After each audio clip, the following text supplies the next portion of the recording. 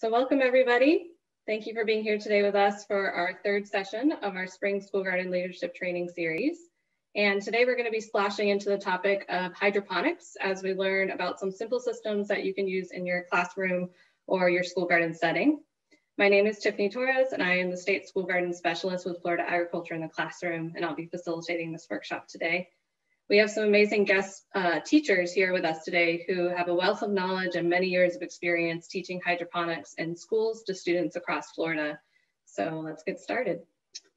And if you haven't already, please go ahead and type your name, your organization, or your school, your county, and whether or not you've tried hydroponics into the chat box. Uh, one of our goals with this series is to increase networking across the state of Florida between educators and school garden leaders. So we want you to go ahead and use this time to connect with one another.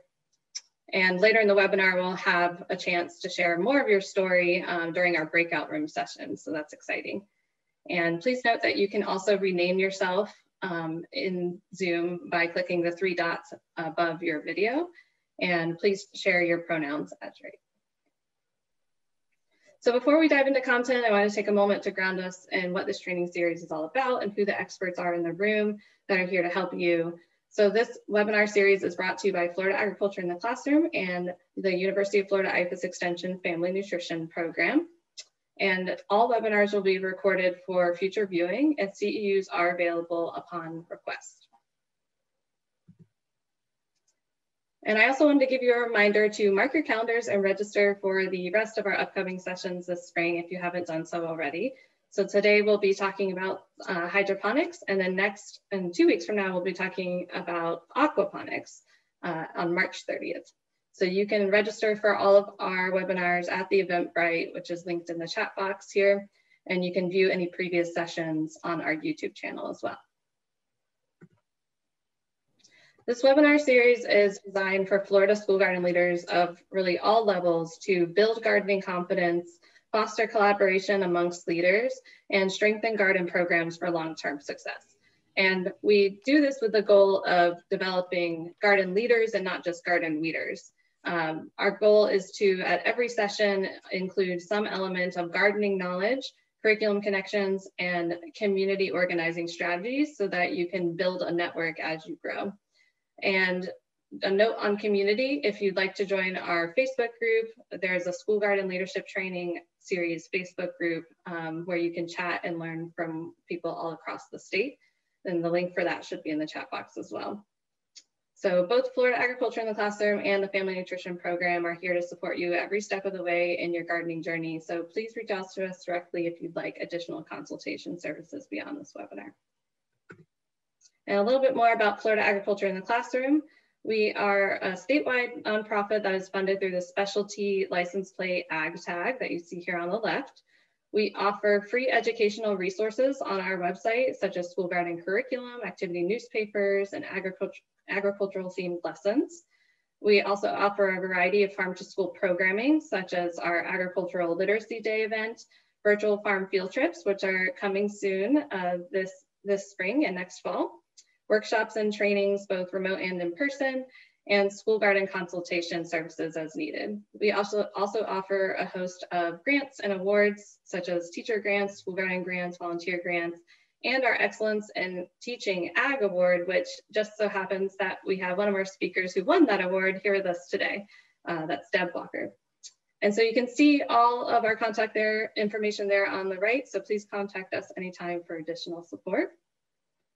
And our second partner in the series is the University of Florida IFAS Extension Family Nutrition Program, also known as FNP. FNP provides SNAP education in Florida across 40 different counties and has been doing so since 1996. FNP helps limited resource families in Florida access more nutritious food choices on a budget and adopt healthier eating and physical activity habits to reduce the risk of obesity and chronic disease. And I want to take a moment to introduce our speakers before we dive into our content. We have with us today Jeremy Roden, who is the Horticulture and Program Specialist with Curriculum and Instruction at Marion County Public Schools. And we also have Deb Walker, who is an agri-science educator at Sarasota Military Academy. Thank you to you both for being here. And Becky Swanholtz and I will also be facilitating and managing the uh, Q&A session at the end. So just a quick overview of what we're gonna cover today. First, we'll dive into a presentation by Jeremy about teaching hydroponics, which includes an overview of hydroponic systems, some STEM connections. We'll go over the Aero Garden system specifically and the Vertigrow Tower Garden. And then we'll watch a video that was made specially for this webinar by Deb Walker, in which she teaches us how to create your own deep water culture system out of a Rubbermaid container. And also how to grow your own seedlings on a budget for hydroponic systems. Then we'll flow into our breakout rooms and have a chance to get to know another and learn from each other. And we'll close with our Q&A session. And a note on Q&A, feel free to put any questions into the chat box as we go along. We will not stop for questions during the presentation, but we'll try to answer as many questions from the chat box as possible at the end. And like I said, we'll be here for 30 minutes afterwards to go over any questions. So before I hand it over to Jeremy, I wanted to take a moment to share this slide with you, which is titled Recipe for Success. Uh, there are many types of hydro hydroponic systems and ways to do hydroponics. Uh, my professional opinion is to always follow best practices, read instructions, and stick to the science. A colleague of mine shared this metaphor or analogy with me recently, and it really helped me think through the difference between growing food in soil in traditional ways versus growing food without soil and hydroponics. And what he said is that gardening is like cooking. And you can add some spices, a little more of this, take away some of that, and you'll still end up with an edible product. But hydroponics is much more like baking. It requires you to follow a recipe and a set of instructions in order to achieve successful results. Um, I don't know about you, but I have tried to bake a cake many times. I'm not a baker, much more of a cooker. And sometimes I don't follow the recipe and I think it'll turn out fine and it doesn't. but this is just a testament to um, what is possible really with hydroponics if you do follow those best practices and guidelines. So I have some pictures here that I find kind of inspiring from the Epcot uh, behind, behind the seeds tour. And you can see a variety of different um, hydroponics, aquaponics, and other types of systems that they have set up here. Um, this is actually a nine pound lemon that was grown in a sand system um, that Jeremy will share with us later. And we have some Brussels sprouts hanging here uh, with an aeroponic system, some tower units. I think there's some fish back here. And then this really giant uh, zucchini that they grew, grew using hydroponics techniques. So it really is a cool way to grow food. Um, and I'd encourage you to check out the Google Drive folder for additional recipes, like how to create a simple floating bucket garden. Um, we are going to go over only three types of systems in detail today, and that will be the aeroponics, um, vertigrow tower systems, and deep water culture. So with that, I will hand it over to Jeremy, and he's going to tell us more about how to teach with hydroponics. All right, good afternoon. Um, as Tiffany said, I'm Jeremy Roden with Marion County Public Schools, and I am the horticulture program specialist um, there. And I have been there for, I taught there, or I've taught as an ag teacher for about seven years with a specialty in horticultural sciences. And then um, I recently moved into this position about two years ago, uh, almost two years ago. So. All right, so um, first off, what are hydroponics? So one of the biggest misconceptions with hydroponics is that uh, it's only growing plants submersed in a liquid media or liquid substrate. Um, when actually it's growing plants in any type of soilless media. So that can be coconut fiber, perlite, all sorts of different things. And we'll kind of talk about those in just a second. But just make sure you understand that it is not only growing simply in a liquid solution. That is hydroponics, but there's all sorts of different types of hydroponics, and we'll get into those. All right, so a quick history of hydroponics. So many civilizations have used hydroponic techniques throughout history. Um, and you hear about this, you see this, you can see a lot of it just looking in the Aztec uh, and what they've done in Mexico and, and other places around the world. And you can see kind of some of the things they have here in the bottom left-hand picture. You can see a, a very common practice that is still used today in many Asian cultures where they have floating raft systems where they're growing uh, different types of crops in those floating rafts. And that's kind of what you see in the um, bottom left-hand picture, top right corner. And so that is a common practice that's seen. It's, it's a type of deep water culture, and that's something we'll be talking about a little later today, but it is still actively used as a type of hydroponic growing. All right, so uh, with hydroponics today, obviously they're a lot more advanced. Uh, in this picture here, we have a vertigrow tower on the left-hand side, which is kind of more of a drip system. And on the right side, we have a special grow tower that actually works as an aeroponic system. We'll talk a little bit more about those. Um, but there's a variety of systems with hydroponics, aquaponics, uh, and then aeroponics. Uh, over time, these systems have become more advanced and more sufficient as far as water uh, use and nutrient use. And because of that, we're able to grow higher yield. So to kind of give you an example, if you look at this one um, tower on the left-hand side, the vertigrow tower, uh, you can grow, if you're growing lettuce in that tower, you could grow about 25 times the amount of lettuce that you can grow in the space in the soil that it takes to grow one head of lettuce. And you would do so almost twice to three times as fast because the nutrients are supplied 24 hours a day as they're getting their drip. Uh, and they're not having to search the soil for nutrients, which is what most plant roots have to do. And so that's why it typically takes longer to grow in the soil than it does with hydroponics. All right, so with hydroponics, there are a variety of media that you can use. And when we say media, that is a term that we use for the substrate that it's growing in. Many different types of hydroponic media have absolutely no nutrient value at all. It literally is just a completely uh, bare material that is used to prop up the plant or hold up the plant or provide its roots with a, a, a successful media, if you will. Um, so we have coconut fiber, which is basically the husk of a coconut. It's really good because it holds the water moisture really well and it comes compacted. Uh, and it's it's a byproduct that is very useful in hydroponics. It's also fairly cheap compared to many other different type of hydroponics. There's perlite, which is a volcanic rock. This again is a very good media it is a little more advanced. Uh, I try to keep away from it with schools as much as possible. The dust from it is considered a carcinogen. It's actually, it sounds a lot more dangerous than it is. As long as it's wet down, the dust has settled. It's very safe to use. You don't need a mask or any type of goggles at all, but we still have a lot of teachers that get very nervous around it. So we tend to stay away from it as best we can. And you can use rice hulls in place of that, which is listed here. We also have expanded clay pebbles, which are very costly and expensive. Uh, rock wool, another very costly, expensive one, kind of like a fiberglass material. Um, and then sand, which is a soil particle, but it also can be used hydroponically because it has a very, very low nutrient value.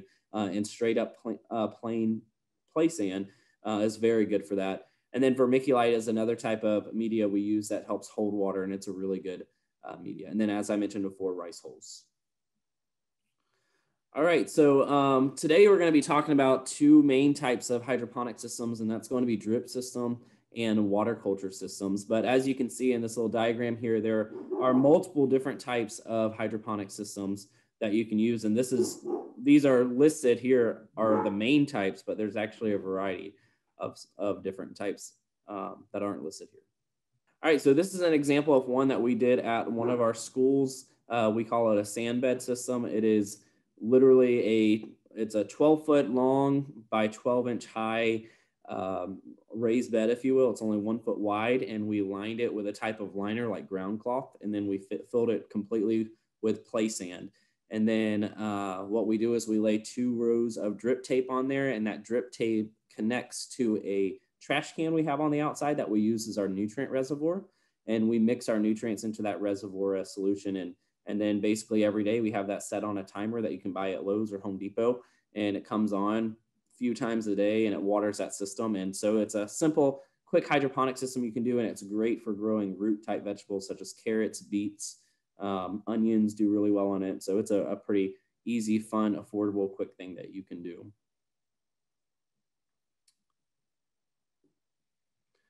The next one is a trench system. This system we've also kind of used at some of our schools. It can be a little uh, more tricky to do or to deal with. It's very similar to the uh, sandbox, but instead what you do is you dig a trench in the ground about, about 14 to 16 inches deep and probably about the same width. And then you fill that in with a hydroponic media. In this case, because of cost, we actually use fine um, chopped up pine, uh, and this we like the pine bark. So we use fine chopped up pine, composted pine bark, and we fill these trenches with it. It has absolutely no uh, nutrient uh, nutrients in it. So what we have to do is we put those lines in it, those uh, drip hoses, and then those also, just like in a carrot bed, are connected to a tank um, right on the outside of it and a timer that has a, a, nutrient mixture in there. And so every time the water comes on, it comes out of that tank and it fills nutrients to the system. This is a nice system because it does insulate your roots underground and it keeps them nice and warm, but you can grow all sorts of things in here and it is a phenomenal system um, once you have it up and going. All right, and then I'm not going to talk too much about this because I know we're going to uh, discuss it more shortly, but this is kind of water culture. This is a floating bed system. We have several of these at a variety of our schools. It's a very simple, low maintenance system. You don't need electric necessarily. You you fill it with water and your nutrients, and then from there you just let Mother Nature do, do its course. And it's a very simple, easy system. You can make it as big or as, as small as you would like.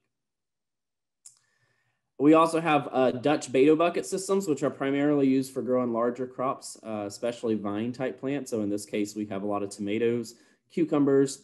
Uh, we've grown a lot of bell peppers this way. It's a really unique plant. This is our, our unique system. This is more of a uh, wicking system. And so uh, it's a lot trickier in my opinion. It's one of the complex hydroponic systems you use, but it is a really neat one that you see a lot in industry. So I did want to share about that. All right, and this is, in my opinion, perhaps one of the most um, extensive hydroponic systems to use. It is a very, very unique system. I think when most people think of hydroponics, this is one that they typically their mind shifts to, or a lot of people want to start with this. In fact, it was my mistake. My very first year getting hydroponic systems, my first grant I got was getting one of these systems. And I learned very quickly after doing multiple trainings with UF and and all sorts of other uh, institutes that this is actually one of the most complex types of systems you can start with. And the reason for that is there's a very minimal room for failure. So it's an NFT system, um, nutrient film technique. And this is more like that traditional idea of hydroponics where the roots are submerged in a liquid at all times. Um, and the liquid runs down those channels. And the unfortunate part about this system is the moment you lose power and that pump goes off and the liquid uh, solution is no longer moving through those roots, you have about an hour to save your plants before you lose your entire crop. Uh, whereas in most other systems, because they're submerged in a media that holds moisture, typically you can go a couple days before losing your crops. This you only have about an hour. And so it is a very advanced system. You need a lot to it. We had to, for some of our schools that grow with this, we had to put in big generators at their school greenhouses in order for them to work effectively over weekends and holiday breaks. All right, so I'm going to talk uh, more in depth of Vertigrow Tower System. So this is primarily what we grow in Marion County. We we have probably at least 15, 15 to 17 different types of hydroponic systems we use across the county, but this is our most popular one that almost all of our uh, schools that have horticulture programs use. Um, we grow a variety of things from herbs to lettuce to peppers um, all sorts of things in this type of system. And, and the, the teachers absolutely love it. It's very versatile. It's very simple. UF actually recommends uh, that this, this system for beginners just because of how simple and easy it is to use. And you can get it in all shapes and sizes as we'll talk about in the next slide. So um, here you see a few different options. So there is a VG1 tower, which has a reservoir built into the bottom. That's the one on the far left. Uh, the cost for that is about $260, but you can grow equivalent in that one tower what you can grow in a four by eight foot raised bed. Uh, and it's it grows much faster. You can grow many other uh, crops in it. It's it's pretty unique in itself. The reservoir is at the bottom, so you mix your nutrients and you fill that reservoir. And then when you plug in your uh, pump, which has a timer equipped with it, uh, it comes on when it's supposed to, and it does everything in itself. So literally, all you do is you plant your seedling in the corner of each one of those boxes, and then you plug it in. And as long as you set your timer to um, the amount it needs, which is pretty consistent from beginning to end, about three minutes, three times a day, then you're pretty good to go. Uh, the only thing about this particular one, because the reservoir is built into the bottom, you have to have some type of covering on it. So if you were to have this set up outside and it rained, the rainwater would seep through those pots, which each of those white pots have holes on it, which is how um, the liquid solution moves down the tower and it would seep through into the reservoir. Uh, so it has to be covered. And if it's covered indoors, well, then you're having to add a lighting component, which, excuse me, makes it a lot uh, more expensive. And the second picture you see here, this is a two tower system. He literally, the company um, Vertigrow, it's based in Marion County actually, and um, they use these systems all over the world. In fact, the owner of it was one of the designers who designed the Epcot greenhouse for those who have been to Epcot. And if you go to Epcot, you'll see these Vertigrow towers are still standing there all over the place throughout the greenhouses on that ride um, because they're they're a phenomenal product. But in this case, this is an example of a tower that is not necessarily connected to a reservoir on the bottom. And so this is no longer considered a circulating system like the VG1 system. So in this case, you can have this standing outside in the open. This is a two tower system for about $300. You can have this standing outside in the open. You don't need a covering on it. It doesn't have to be in a greenhouse. It's pretty simple. Um, your reservoir you probably would fill every every two weeks or so, and he would you know provide you with a nutrient solution for that. Um, as far as the lighting needs for the Vertigrow indoors, it would be someone asked that question. Um, it would really be dependent on what you're growing. Um, for the most part, the lights that you would need they say in general when you're growing indoors with plants that the lights always need to be about three to four inches from the plant. So as the plants grow, they have to be able to be expanded out. And there's all sorts of different light options out there that you can buy, but trying to do something with a tower like this and having lights all around it for all of your plants is pretty complex. I do know the Vertigrow company is trying to work on something that you can buy as an additional part to attach to that VG1 unit. Uh, it's just uh, very difficult to do. Uh, and it is also going to be very costly, I'm sure, because lighting for indoor growing is very expensive typically. Um, but what with the uh, second system that you see there in the middle, you can get as many towers as you want. We have a 100 tower system at one school. We have a 30 tower, a 20 tower. So, but it essentially works the same way with your reservoir. And I'll kind of go more into that in the second or in the next slide. And then finally, the last picture on this is the tabletop garden. This is also a Vertigrow system um, that essentially works similarly to the VG1. It does circulate into that reservoir at the um, at the end there with the gray tank, but each one of those black pots have an emitter on top of it, and it feeds the solution from the top, and then at the bottom of those black pots, it drains into a PVC pipe that drains right back into that reservoir. So it's a circulating system. This one's really nice because it's handicap accessible. So a lot of our programs, uh, we have several ESE programs that have a high population of handicap students. And so this is one that they really like to have because the wheelchairs can get around it pretty easily, which for the most part you can do with, with all of these, but it's a very popular one for that reason.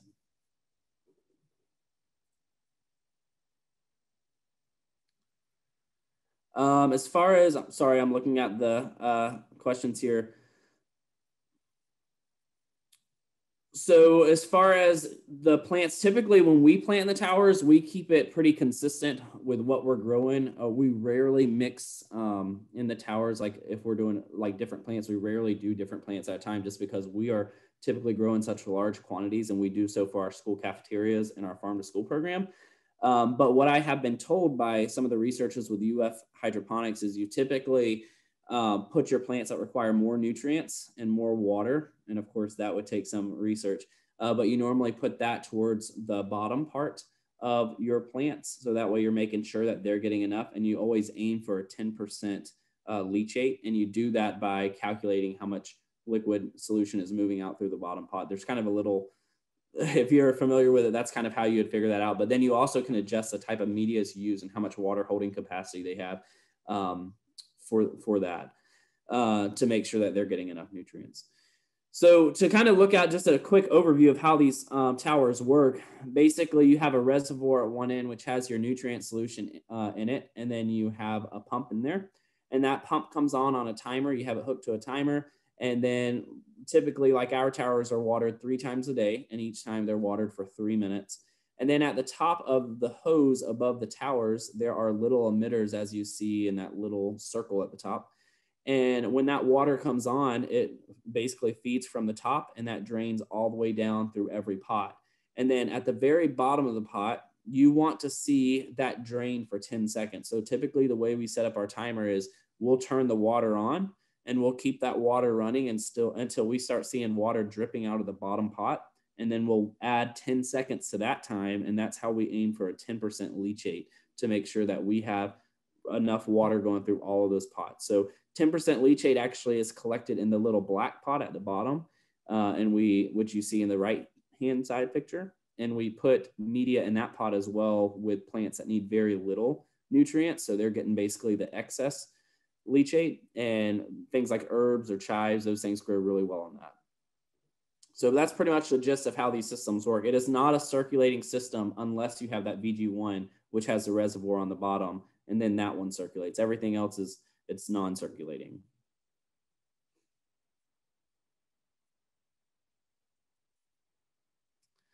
Um, so here's some pictures of our lettuce that we grow. We grow a ton of lettuce, uh, a lot of bell peppers, which is are pictured on the left, um, right as they're about to start blooming and producing more peppers.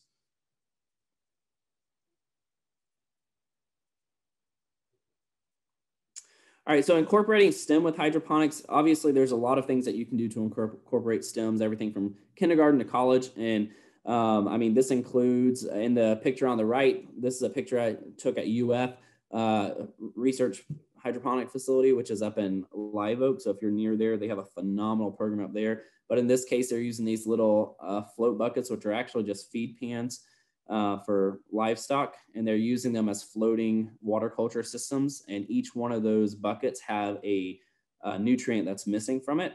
So it kind of allows students to see what type of deficiencies plants have.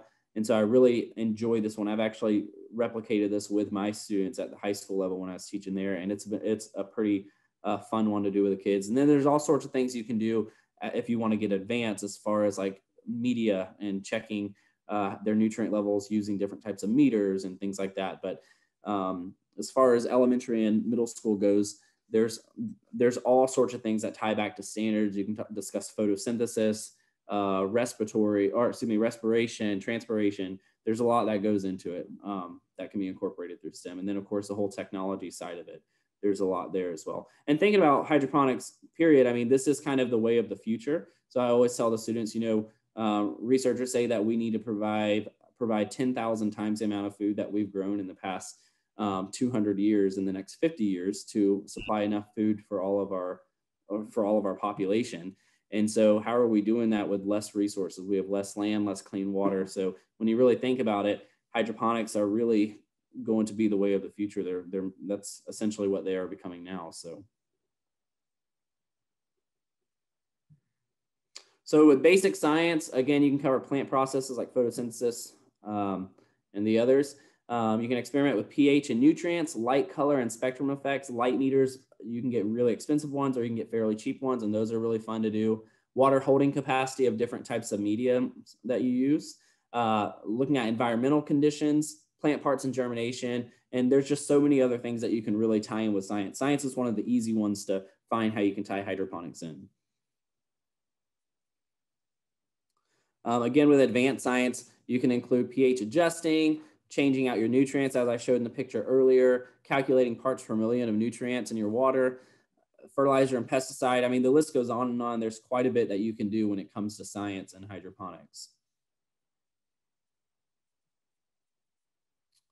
With math and business, there's so much calculating when it comes to parts per million and plant nutrients. Now I can tell you that's a very, that's if you want to get advanced. So um, don't think that because hydroponics offer these as lessons in the classroom, it doesn't necessarily mean that they're actually that difficult. So I know when I first started getting uh, into hydroponics, it, I was told by many professionals, oh, you need to be checking the pH every day. You need to be checking the electric conductivity. You need to be checking all these different things. And it almost overwhelmed me quite a bit because I didn't have time to do all of that first off as a teacher, but then also it just, it it was pretty advanced because I didn't want my students handling a $400 test meter. Um, you know, so it's it's one of those things that you don't have to worry about necessarily. But if you're looking for ways to tie in math and business, this is a great way of doing it, especially if you're growing for things like in our case, we're growing for our farm to school programs. And so we need to know how many heads of lettuce we're growing, you know, um, how much the weight is, how much are we procuring each week, total produce. So there's a lot of math that can be incorporated into all of that record keeping is a big one when it comes to all of this. So um, geography and history, of course, we can talk about plants and, and the history of hydroponics. uh, understanding what plants can grow in different climates and regions around the world, and then what types of plants grow where and best. Obviously, with engineering, there's quite a bit you can do here. I've had students actually try to invent their own types of hydroponic systems and see what they can do there, and that's been pretty fun. Um, students have come up with all sorts of different things, and then they've learned to tweak them in different ways, and some of which, you know, hopefully one day we'll see on the market because I've seen some pretty phenomenal hydroponic systems. But, um, but yes, engineering and physics can definitely easily be tied in.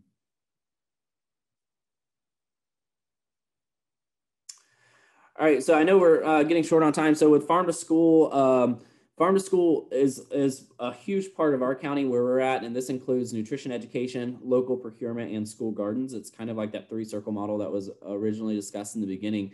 Um, so there is a new certification program out there that uh, farm to school is wanting schools get involved with and that if you get that certification it really helps you to be able to get your school produce into school cafeterias and be used for those things so I encourage you guys to look into that, and Tiffany can give you more information on that. You know, the great thing about farm to school is students gain the firsthand experience in doing all of this. And then on top of that, students we're finding that grow their own produce are more likely to, to try their own produce and more likely to try to eat it. So there's a lot of benefits there. So you have fresh produce going directly into the cafeteria. Students take ownership of it because they are growing it and they have fun with it. And then they're also more likely to try it. Um, work, we work a lot with local farmers, getting their produce brought into our schools, which helps the local economy. And then there's many grants available for farm to school, all, all sorts of grants. And so I really encourage you to look into farm to school. I know a lot of you are just getting started, but it's a, it's a great thing to be involved with, especially for schools. To kind of give you a little bit about what we do in Marion County. So we have a program and a partnership with the Marion County Hospital District, and we created a program called Fitness and Nutrition in Schools, or FANS. It is grades K through 12 in Marion County, and we do this and we have this big initiative to kind of help change a chronic disease state and obesity rate in Marion County. Um, and we do this by focusing on future generations. So, with our partnership with the hospital district, they are the company who leases out uh, the Marion County Hospital, which is owned by the county. And so with the money that they use to lease, it continuously grows every year into this. It's in a big corpus and it grows a lot of um, interest on it every year. So there's tons of money there. And so what they've done was they decided to try to change those statistics of Marion County. They're going to add all these garden programs at all 52 schools and start teaching kids where their food comes from uh, and how it's good for them and what type of nutri- nutrition comes from it. So what we've done is in our elementary school, we incorporate raised beds where we teach students where their food comes from and let them grow foods and try them in their classroom doing taste tests. And the middle school level, we create what's called horticulture parks, where we provide them with a variety of growing systems, everything from hydroponics to in-ground gardening, raised beds, all sorts of things that kind of bridge them into our high school programs which is where we offer them state of the art uh, hydroponic greenhouses, kind of like the one you see in the bottom right hand corner. Um, and it inc- and we grow food for the school's cafeteria essentially. So uh, the greenhouse you see in the bottom right hand corner is actually the largest greenhouse in our county. It's about uh, about 6,200 square feet. It's actually the largest school greenhouse in the state of Florida. Uh, and it's really unique because of it being only hydroponic based. And in that one greenhouse, there are six different hydroponic systems in there that grow school cafeteria, um, including microgreens as well. So it's a very unique setup. Um, it's we really take pride in it. It's something that we really love, and you know we're very fortunate because we have a great partnership with someone where money is not necessarily a factor. That is normally not the case with many people, and and we completely understand that. In fact, when we first started um, our farm to school program, that was not the case. We just later um, had this uh, partnership come up and and I can't express enough how important it is to have community partnerships and this is kind of what led to us when we started doing our farm to school program so I encourage that. So uh, one of the things that we are moving into is we are actually in our elementary schools, we've been doing the raised beds now for about four years. And we have found that there's about 25% buy-in from the schools, so only about a quarter buy-in from the teachers and the students, but we really want more teachers and students to buy into this. So what we're doing is we are piloting a new program this coming fall where we are choosing three elementary schools and we are providing each grade level with a small unit called an AeroGarden. Um, a lot of people hear the word AeroGarden and see the name and they immediately think aeroponic, but it actually is kind of a deep water culture system. And so um, it's a very unique system, but um, it's going to be offered kindergarten through fifth grade, one per grade level. Um, and we're also going to provide a six week workbook that includes STEAM and nutrition. So this is a way that the teachers can incorporate it into their classroom. It covers all of the standards that are in their curriculum maps during that time. And so this allows each class to be able to take ownership in their own garden and grow their own garden in the classroom. You can buy these units for about a $100. Um, and I can tell you, I have grown several different crops in them already. And when I say super easy, like I am buying one of these for my countertop at home. Like you add water to it every two weeks and a cap full of nutrients, and that is all you do. And then you harvest as much as you want, and it continues to grow. And it is an absolutely phenomenal system. Super, super easy, especially if you don't have a green thumb. This is the system for you. It is absolutely amazing. It's compact, fits great into a classroom. It's amazing. It has a built-in light into it. I can't I can't advertise for this this system enough. I mean, it is it is phenomenal. So if you're interested in it, I definitely encourage you, especially if you're trying to get started somewhere. This is a really unique system to get started with to try to gain that green thumb, and then advancing onto a, a more complex hydroponic system down the road might be something worth looking into. But this is kind of the way that we're looking at changing all of our elementary programs at this point to kind of get more teacher and student buy-in to learn about nutrition and hydroponics. So some of our partnerships, we partner with our ESE program, obviously our CTE, which is our career and technical education department. Uh, food nutrition department is a really big one. If your food nutrition department is not on board for farm to school, then unfortunately there's really nothing you can do. Um, farm to school goes through food nutrition. Uh, uh, your food nutrition director oversees that entire piece of that. So um, it's very important that food nutrition is on board local businesses. We actually one way we just started sustaining our programs we are selling some fresh herbs to some of our local restaurants. Uh, that's kind of fairly new for us so we're just getting into that but that is something that you can do. One vertigrow hydroponic tower grows enough basil for a restaurant for about a week. So um and and you know you don't harvest all of it at one time you take cuttings from it and that basil continues to grow week after week after week so you're not having to replant a new tower every week. So there's a lot of great things you can do Obviously, IFAS extension has been absolutely tremendous for us. And then, of course, Florida Farm to School.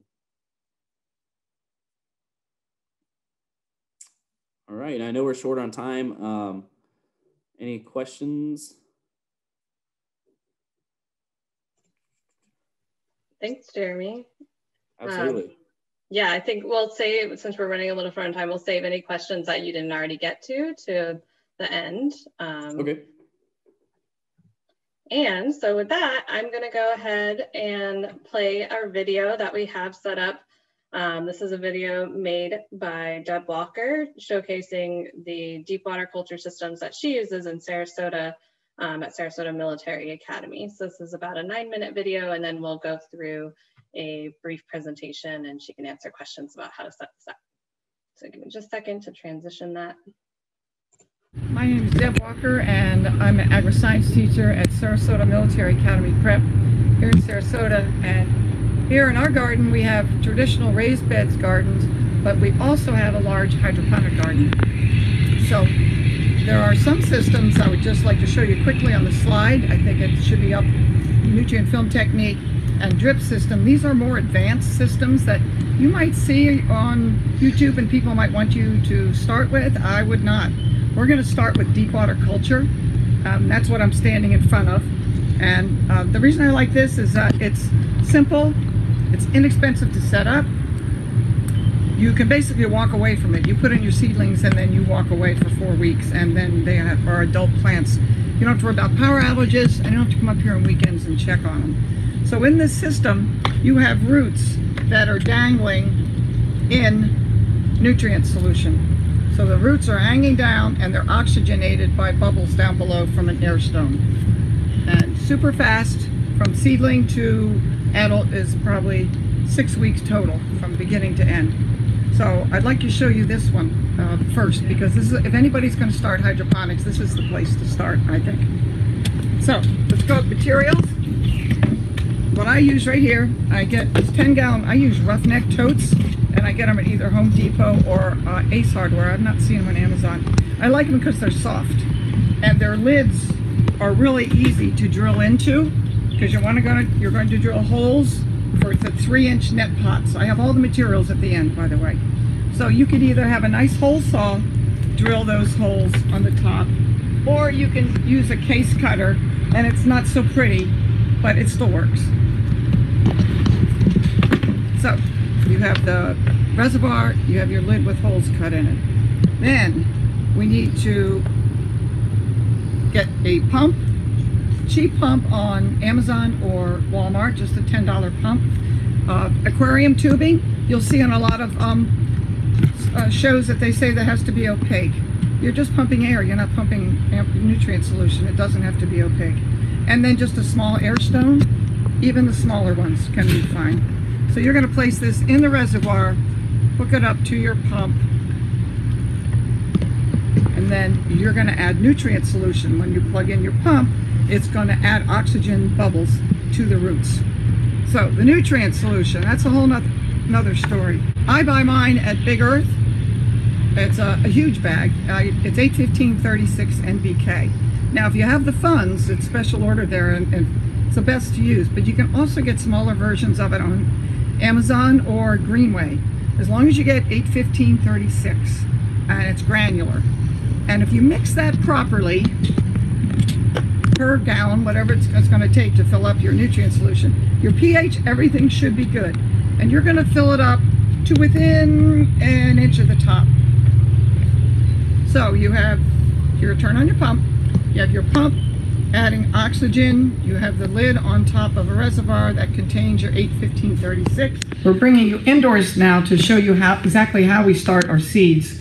Um, Amazon has seeds, very inexpensive lettuce seeds. This is Butter Crunch, my favorite, and you'll find out it's going to be the best one for you too as far as your first system.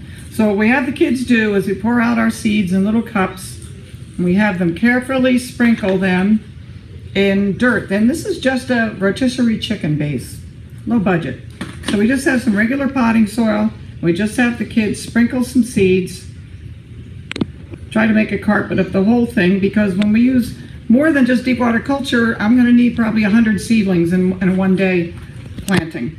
So then we're going to cover that with a quarter inch of soil and let and put them under the LED lights, which are to my right here. So this is where we have all of our seedlings starting.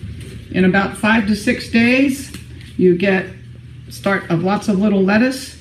This is a type of arugula. And it's easy because it's just done in soil. If you would like to spend the money and do rock wool, you could do rock wool. It'd be a lot easier, but it's also a lot more expensive. So I shy away from this and keep that for my other systems. This is certainly the easy way to go. These lettuces then can be divided up, and it's amazing how rough you can be with them. You can divide these little guys up and separate them and then make a whole nother tray until they're ready to go, which would be probably an inch and a half tall. And then you're ready to take them outside to the deep water culture outside. Six. So now it's time for the seedlings. That's the hard part. Where do you get the seedlings? Because you have to think three weeks ahead of time to plant them in soil before you're ready to actually start your system. You can buy them at Home Depot, but usually they're a little old. I like planting them myself or having the kids plant them. So there's a slide of this. This is Butter Crunch lettuce that the kids planted. It's a little close, but that's okay. We can pull them out as they get bigger and spread them out in other soil. And when they get large enough, in this case, this is, this is kale, I believe. We can just pull it out of the soil. I just shake it off in the dirt lightly, put it in a net pot, sure it's standing up, and then you can place it right in the deep water culture. You want to make sure that the level of the water is about halfway up, halfway up the net pots. Now when you first put them in, they're going to get sunburned. So I just take pots and give them a little sunshade like that for the first day or so, and then they should be good to go. So as you can see here, we have, this is bok choy I'm experimenting with. I'm not sure that's going to work. We have butter crunch lettuce. That is the best to, to use. The best. We have basil, kale. what's another experiment. This is mint.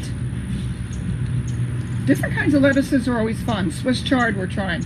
So it's even fun to get a lettuce mix so that when you plant these, you have all different colors um, on your deep water culture. I think one of my pictures showed that.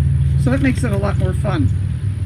So in about four weeks after you put the seedlings in, you should be good to go. If your power goes off, so they don't have bubbles for the weekend, it's not going to matter at all. Now, if you have the money, um, I would really recommend getting the pH and a TDS meter because you do want to monitor this if you have large rains or maybe your plants are getting burned on the edges. You would like to know the TDS, which is the total dissolved solids, and the pH. Lettuce is pretty hardy, but if you get outside of that hardy zone, it's not going to grow or it's going to turn brown. So this is on Amazon. I have a slide. It's $34 and has three modes, temperature, pH, and TDS. So on TDS, I like it to be between 650 and about 800, 850 for lettuces and herbs. And when you set it up, it stays there. Uh, the pH has a tendency to creep up to about 6.5. You want it under 6, 5.5 to 6. So even though you could probably get by without this, it it's nice when you have problems to have this and be able to document uh, what you did right, what you did wrong, how you fixed it, because you will always need to go back to that. Always document everything when you have these systems.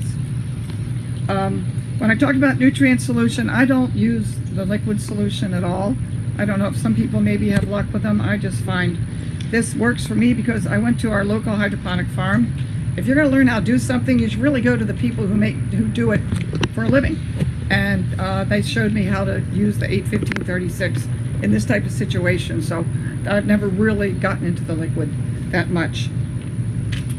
And the other thing is, after the TDS, if you test it and you have a 6.6 pH, what are you going to do? Well, on Amazon, you can buy pH down. It's a bottle for about $15, and you really only need about four or five drops sometimes to get your pH down, so the bottle is going to last forever.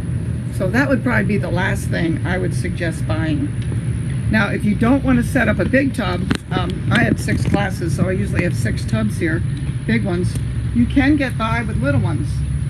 These little three gallons work. Same thing, tuck me, and they have lids, and you can get, I can get four heads of lettuce in here. These I usually put five or six, but these are these work.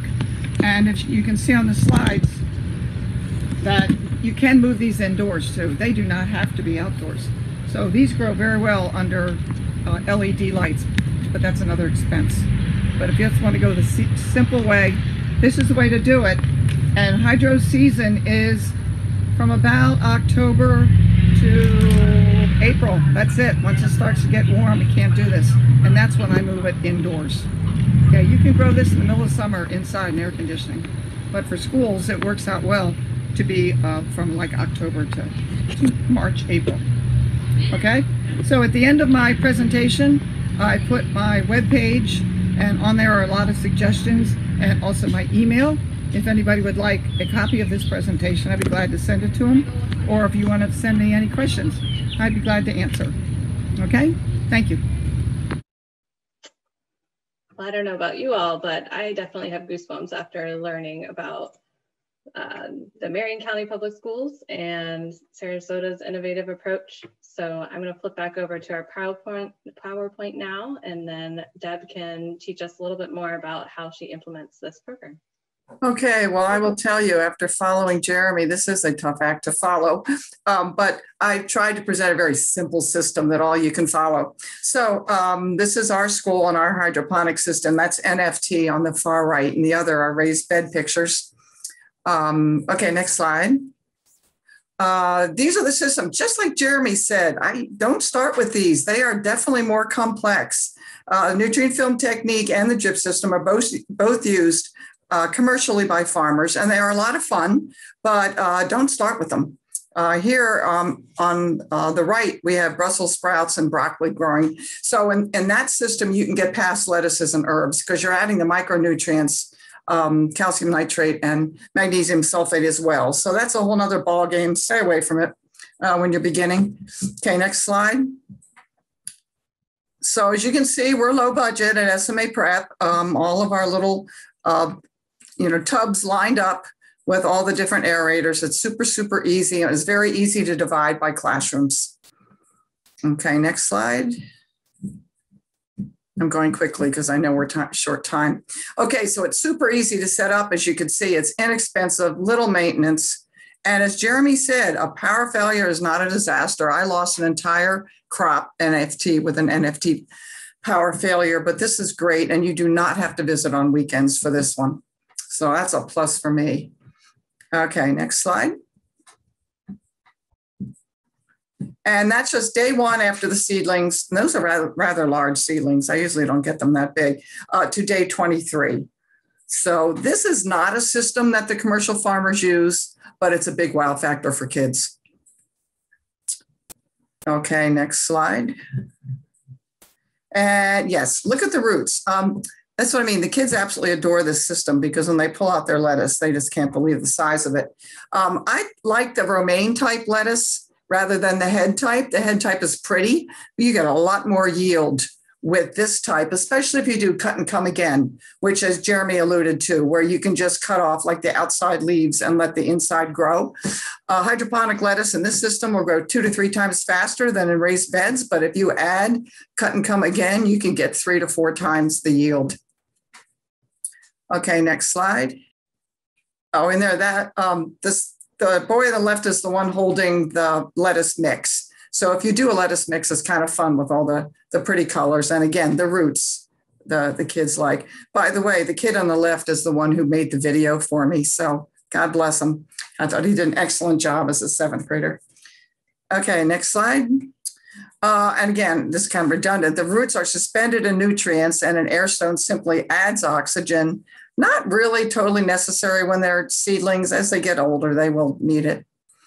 Uh, so there's no submersible pump here. It's just an aquarium air pump, which is what makes it cheap and easy. Okay, next slide.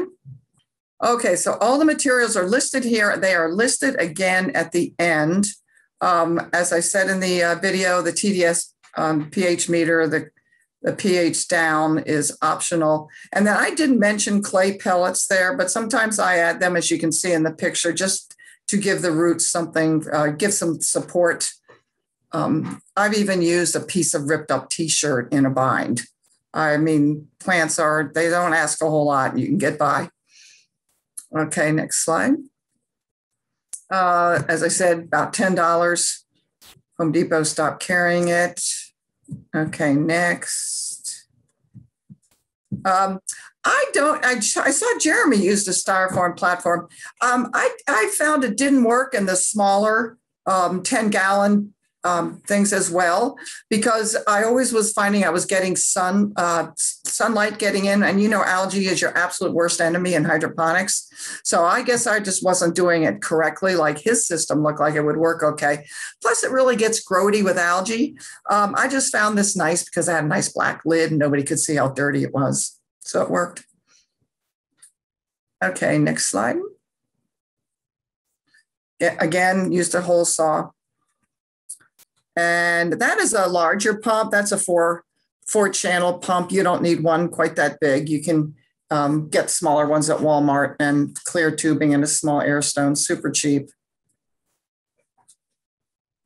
I mean, I've even gotten so desperate where I've moved air stone from tub to tub when we had a plug.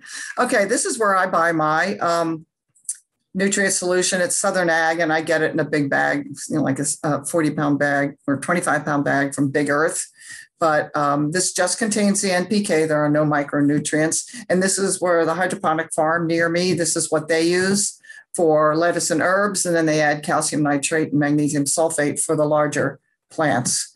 And so far, it's worked for me. Okay, next slide. It's also available on Amazon. And I didn't know, I saw Jeremy had a, another brand there on his. Um, I've used Greenway in the beginning, and I've had people um, there's another brand on Amazon too, and it's a pound for twenty dollars. So it's pricey, but if you're just starting out, that twenty bucks or that pound is going to go a long way.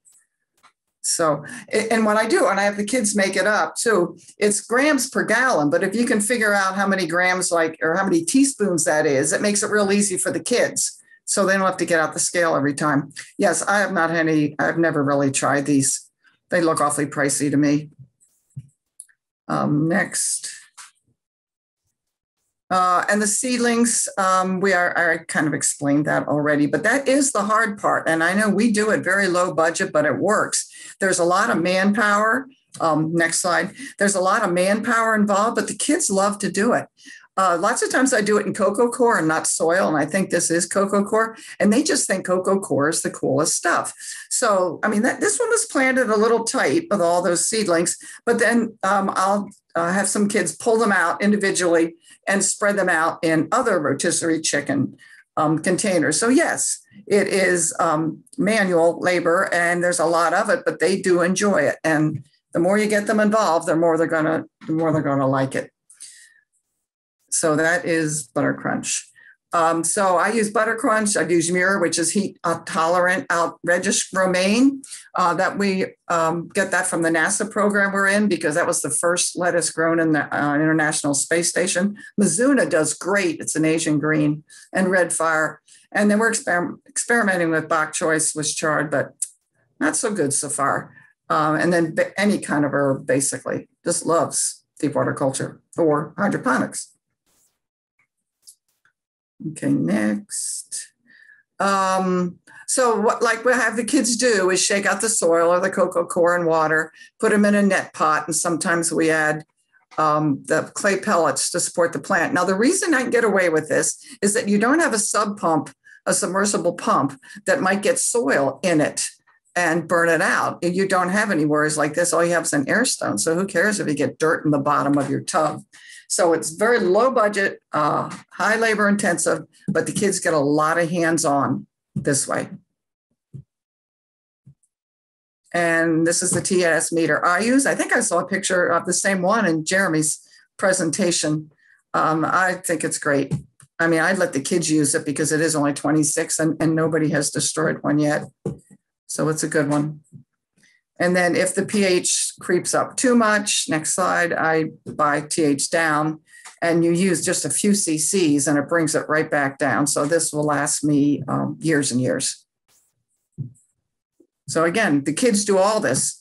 Um, I mentioned the LED lights. Um, that is a whole nother ball game, but if you can get grants, there are so many available on on Amazon, and these are just different ones I've used, but those are little three gallon totes with lettuce that we experimented with indoors. I mentioned that our seedlings are grown indoors. We sometimes take them outside too. So you don't need to have this set up, but it sure is fun when it's too hot to do hydroponics outside. And I just have all the kids uh, keep a journal of growth data and observations. So we plant our hydroponic garden and our soil garden, try to get them a few days of each other, and then we have a race, and the kids can really see day by day uh, how much faster hydroponics can be because of the direct um, uh, solution, uh, nutrient solution is absorbed directly. And I think that, and there's my total list. And I thought I had some links on there. No? Uh, if not, I have them for you. Now it's 120. That would be for one setup. But remember, each tote is only $10 and you have enough there for 40 totes. So you just add 10 more dollars. So you could do a class of six like I had for, you know, 150, 160 dollars. Very cheap to set up. Okay, and if you wanted to um, go to my website and or email me, I'd be glad to to help.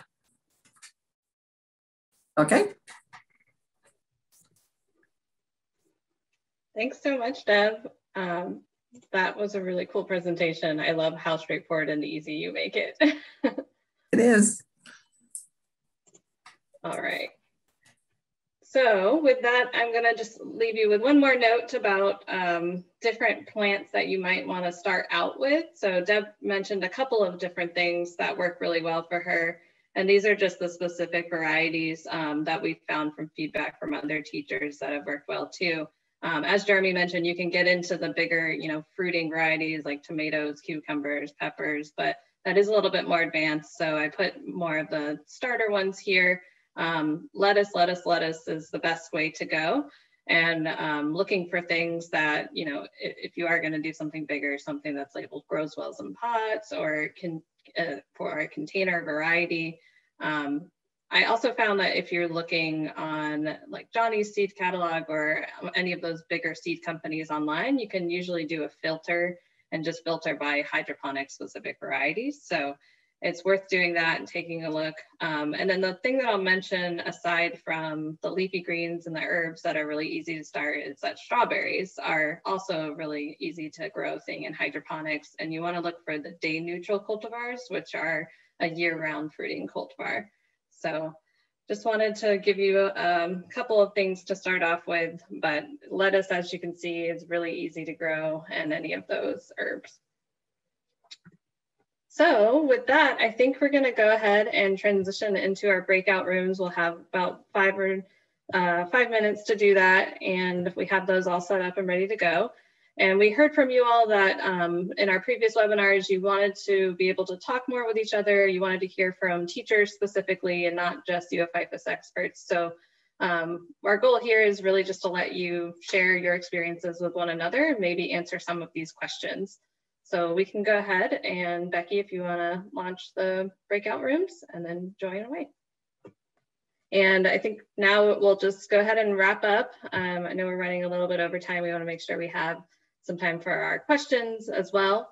Um, so yeah, I, ho I hope that you had some good conversations and learned from one another. I know in our group, we talked a lot about just how it seems like hydroponics can be really complex, but really it's as simple as or complex as you make it. And it's cool to see that there are so many different options out there that you can purchase that are already set up, or you can do kind of a more DIY system like Deb showed us. Um, so to recap, the three that we covered today are AeroGarden, which is pretty beginner friendly and appropriate for elementary school students um, deep water culture, which, you know, AeroGarden is a type of deep water culture, but the type that Deb showed us was more of an intermediate level because you have to do it yourself. Um, very appropriate for middle school and high school. And then the Vertigrow Tower Gardens might be a little bit more um, advanced and middle high school appropriate. Um, but once you get it all set up, it does kind of seem like plug and play and, you know, just monitoring those nutrients that are getting put in. So overall, choose a system that fits your space, your time, your budget, and your goals. Uh, consider the cost setup and the ongoing maintenance and uh, reach out if you want to apply for a grant going forward. And hydroponics are a great teaching tool as we've seen. There's plenty of STEM connections and curriculum connections out there. What I like about it is that there is an opportunity for hands-on problem solving that's, and students can get involved from the beginning to the end uh, and really kind of use those critical thinking skills along the way. And as we talked about, hydroponics is very productive. It's a great option for anyone looking to quickly harvest and consecutively harvest with their students. So you can use the produce that you're growing in things like taste tests or you know nutrition connections or even possible procurement strategies getting it into the cafeteria um, there is, you know, less variables in some ways because you're not using soil, so food safety is a lot more easier to track. Um, and there's there's a lot more opportunities out there too to use the produce. So we hope that you learned something about hydroponics today and you're looking forward to trying it on your own. Uh, it really isn't as hard as it seems. And with that, I think we will go into our Q&A session now. So if there's any questions that you had typed in the chat earlier, we have a log of those if they haven't already been answered. And otherwise you can um, type in the chat box or unmute yourself and ask questions and Becky will help moderate. And just a quick note that if you're unable to stay for the question and answer session, uh, please complete the surveys before you leave. We have one survey uh, that is just takes less than five minutes to give us some feedback on our sessions and how we can better serve you. And then we have one that is for professional development and CEU credit. Thanks.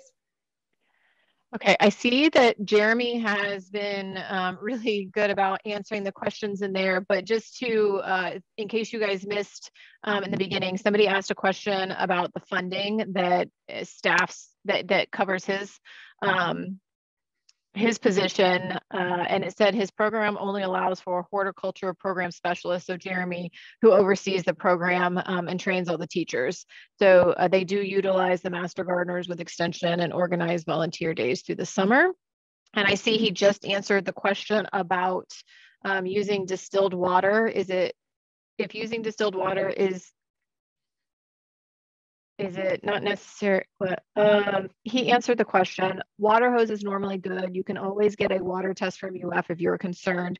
If you're growing produce for your school or restaurant, you must uh, you must use potable water. Um, okay, so next question, Jeremy. Can you uh, share a little bit more about the nutrients to feed the hydroponic system? So what nutrients do you use? Yeah, so typically um, I use nutrients by Vertigrow. So we are very fortunate in the sense that Vertigrow is based in Marion County, which is where our school district is. So that's very fortunate for us. But they do they do business literally worldwide, and that's one thing I do want to uh, make clear. They literally are in, in over 100 countries. In fact, the Bahamian government just purchased 200 of their greenhouses, all filled with at least 30 towers in each one of them across all of their islands. And they're also buying the same units for every public school in the Bahamas right now because they are so phenomenal and they withstand all the wind from the hurricanes. So uh, it's pretty phenomenal. But yes, we purchase our nutrients and stuff from them mainly because we've had a lot of success with it. And what's great about their nutrient mixtures is we, for every system we use and pretty much every single thing we grow, the same recipe works pretty pretty good for every single every single crop we grow. It doesn't matter if we're growing vine plants, if we're growing tomatoes, strawberries, whatever, it pretty much grows very well. I also mentioned on there if you don't have access to that or you don't want to ver- grow from Vertigrow, something super simple you can do is you can also purchase from Lowe's and just buy the all-purpose Miracle-Gro. Um, it comes as a powder from Lowe's, and then a simple recipe for that is one and a half teaspoons of Miracle-Gro and one teaspoon of Epsom salt per gallon of water you're using in your reservoir. So, for example, if you're using that 10, ga- uh, 10 gallon um, uh, deep water culture system, and you're just looking for something you know that's simple and easy to get really quick, you can buy that same solution and just base it off of this recipe. So, one and a half teaspoons of Miracle-Gro and one teaspoon of Epsom salt per gallon of water. It, likewise, if you're using a 42 gallon, we use a lot of 42 gallon uh, nutrient tanks because Vertigrow actually sells a bag of nutrients, a 25 pound bag. I want to say it's around 40 bucks.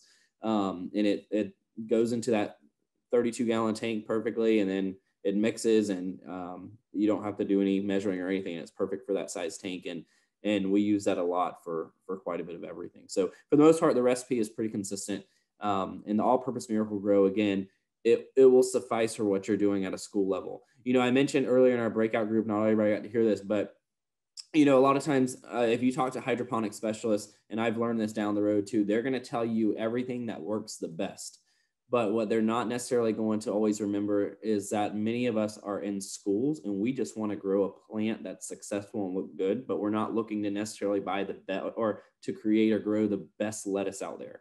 And a lot of times, people in the hydroponic industry, that's what they're going to try to get you to do. And so, because that's what they know and that's what they have found to work best, and they want to give you the best advice they can. Um, but always keep that in the back of your mind. It, it doesn't need to be complex, and a Miracle-Gro solution works perfectly fine. Okay, Jeremy, what uh, variety of tomatoes did you use in the drip Bato buckets? So those Dutch buckets were actually uh, at the UF Suwannee Valley Agricultural um, Extension Center. And so I'm not really sure what variety of tomatoes those were. I do know that the majority of their seeds they buy from a company called Johnny Seeds.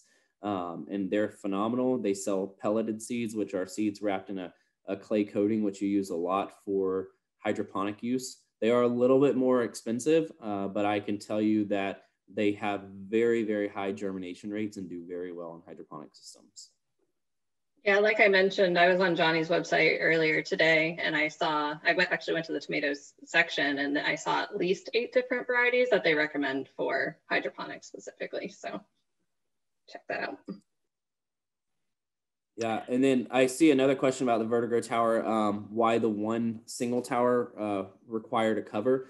Because that single tower is more of a hobbyist unit that you can buy from Vertigrow and it has the reservoir built into the bottom of it. And so what I have found, I mean, you can ideally you can really grow it anywhere, but what I have found, I actually have one personally, and when I put it outside, um, what ends up happening is that especially depending on when you're growing, if you're getting like a rain almost every day, or even if it's a five or 10 minute rain, your nutrient solution in the bottom of that reservoir is going to start changing quite a bit and it's going to become a weaker solution and you'll eventually see that in your plants like you'll start seeing quite a bit of yellowing and stuff whereas if you have a covering over it um, that really changes things because then you don't have to worry about that water watering down your solution and so that makes the biggest difference because those white pots as the rainwater falls into the, those white pots they drain down into the bottom of the pots which drain directly into the reservoir whereas the the rest of the systems aren't like that. They don't have the reservoir underneath the tower. So that's a, a circulating system, the VG1, the with the reservoir at the bottom. The rest of them don't have that at the bottom. So they're fed their nutrients and and they're done. And their nutrients are are kept in a separate reservoir with a lid on it so rainwater doesn't doesn't um, get to it. I don't know if that makes sense. so hopefully. Jeremy, did you just answer the the what is the cover? What do you use for that? Is that what you were just? Yeah. So as far as the cover is concerned, this really can be totally up to you. So it, like you can put in a greenhouse, um, like the greenhouse would be perfectly fine. And what I mean by cover is just basically like a roof over it to keep rainwater from watering down your nutrient reservoir. So um, I mean, literally, if you just had this one tower standing up in the middle of your yard or in the middle of your land lab, you can literally just put a PVC type roof over it with a plastic covering just so that way it still gets the sun it needs and everything else, but you don't have to worry about the water um, watering down your nutrient tank. Okay, the next question came in when Deb's video was playing. So Deb, any tips or things to know when it comes to maintaining the systems and cleaning and frequency? Um, are some systems easier than others? Yeah, so um, I think in a school setting, like don't get too hung up on it. Like we always clean out our systems as best we can. Um, mainly because we're providing a lot of produce for the school's cafeteria. So we want to do as best of the job as we can. But at the end of the day, also, I was explaining this in our um, in our little breakout group. This is something I learned along the way when I, I did a lot of externships with UF up at their hydroponic research area in Live Oak. And I learned that you can always get more and more advanced. But when you're a teacher who's having to do lesson plans and grading and take care of you know 25 to 35 kids at a time and doing all these things a lot of those things you learn aren't 100% necessary. Obviously you want to keep your system clean you want to um, prevent uh, you know diseases from spreading but for the most part what we do we grow different crops in our Vertigrow towers all year long and then at the end of the year we dump all of our media into compost and we rinse out our pots and then if we are really concerned with the looks of the pots which we try to keep them really clean because we consider our greenhouses our showcase um, rooms we actually spray them with a 50-50 uh, water and bleach solution just to keep the pots nice and white and clean.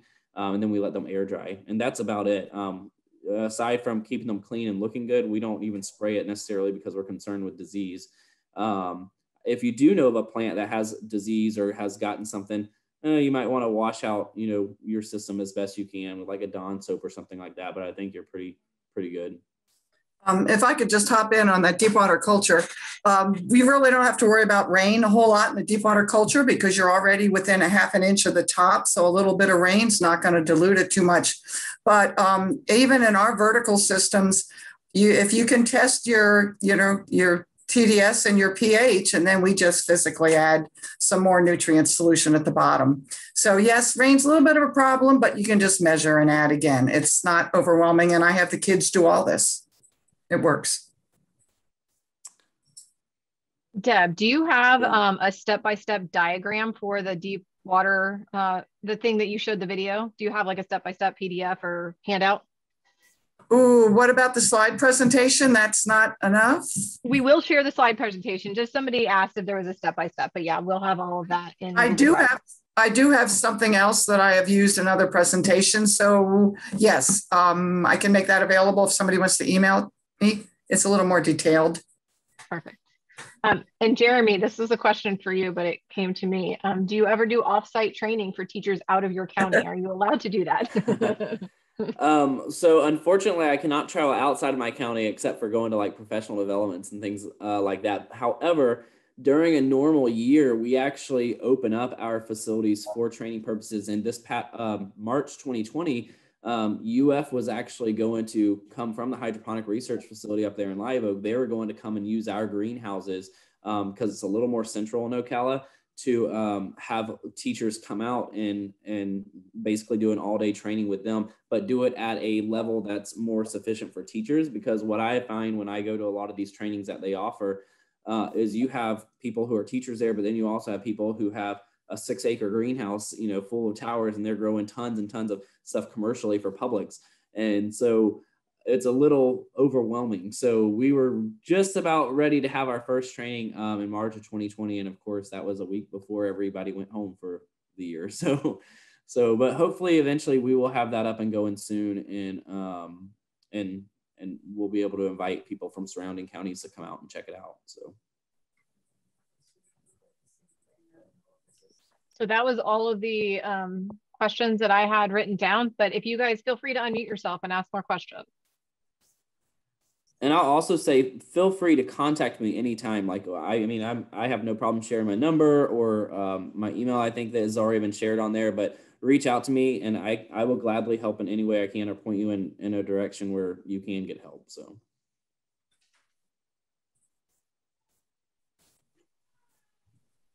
I had a quick question actually for both of you about the materials that you use. So you, you said that you, at the end of the season, would just compost them, but you can't like actually compost some of those materials. So how do you discern what's safe to and how to safely get rid of it? Yeah, so um, I'm sorry. For us on our end, depending on what we're compost or what we have to compost, like coconut fiber does really well for us. Um, it's not going to necessarily have a nu- nutrition value to it, like if we're using it for um, like or- ornamental plants. We grow a lot of ornamental plants also, but um, some of that stuff we'll have to add nutrients into. As far as like perlite, perlite's not necessarily considered biodegradable, and it's not or compostable for that matter, but uh, just like you see when you buy soil mixtures from the store, it has perlite kind of built into it as well. And so we kind of I basically like I essentially, um, and depending on how much we add in there, we actually don't use a lot of perlite because of uh, what I mentioned earlier, as far as the dust being carcinogenic. But uh, with the rice hulls and the cocoa fiber, those are our two main ones that we use rock wool that is just a unfortunately that's a, a discarded product because that's not biodegradable at all. The, and we don't use i don't think we use any clay pebbles at any school because of um, the cost for them and just having other media. Um, it is really good because clay pebbles can be used over and over again for the most part but we in marion county don't really use it. Okay. Yeah and if you want to go the cheap route like we do all the time we reuse our perlite so um, yeah, we don't do one time. I don't know if Jeremy, if you do, but that's we reuse it. And you're right, we throw out the the rock wool, but everything else is biodegradable. Cool. All right. Deb, Deb, there's another question for you. It says when you are transferring the baby lettuce seedlings from their first containers into the hydroponic containers, can you say again how that works? Uh, if they're large enough and the kids have planted them far enough apart, all I do is, or all I have them do, is shake the roots of the plant in water to get off as much of the soil or coco coir, whatever medium they used, uh, off, and then place them directly in the net pots. Sometimes, occasionally, we do use pellets to hold them up, but basically, you're just shaking off the dirt, putting them in the net pot. And then I do protect them from sun for the first day or two. So you don't really care if there is soil on the bottom. Now, this is not the ideal way to do it, but it works for kids.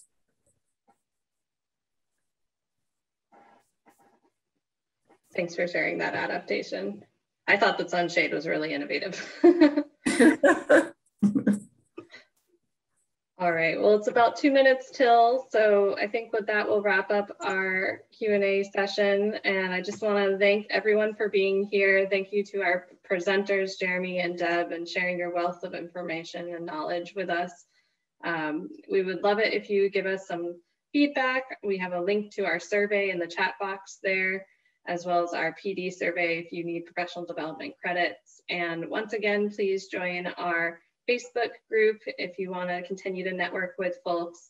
Um, we also have our Google Drive folder with additional resources. Um, we'll have this presentation as well as some of the resources that Deb mentioned, a couple of curriculum resources that she uses from her website, um, and some other goodies from University of Florida.